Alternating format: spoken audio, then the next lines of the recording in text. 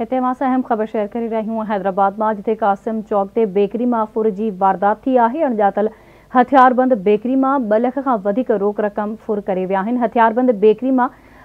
CCTV camera जो record पिण खी फरार थी ब्रेकिंग न्यूज़ असां सां शेयर करे रहिया आहियूं हैदराबाद में कासिम चौक ते बेकरी माँ फुर जी वारदात थी आहे अणॼातल हथियारबंद बेकरी माँ ॿ लख वधीक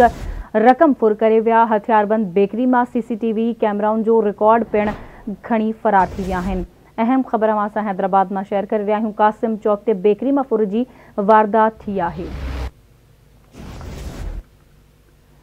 अणॼातल हथियारबंद बेकरी में ॿ लख खां रक़म फुर करे हथियारबंद बेकरी में सीसीटीवी कैमरा जा रिकॉर्ड पिण साण गॾु खणी विया आहिनि। अहम ख़बर असां शेयर करे रहिया आहियूं, हैदराबाद में कासिम चौक ते बेकरी में फुर जी वारदात थी आहे। तफ़सील मालूम कंदासीं लाइन ते मौजूदु आहे नसीर चन्ना। जी नसीर छा, तफ़सील आहिनि आगाह कजो। जी, हैदराबाद में कासिम चौक वटि काइम बेकरी माँ फुर जी वारदात थी आहे अणॼातल हथियारबंद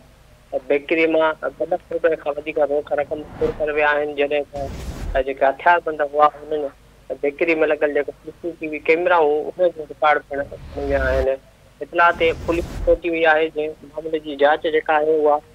शुरू करे छॾी आहे। पर जवाबदारनि गिरफ़्तार न थी सघिया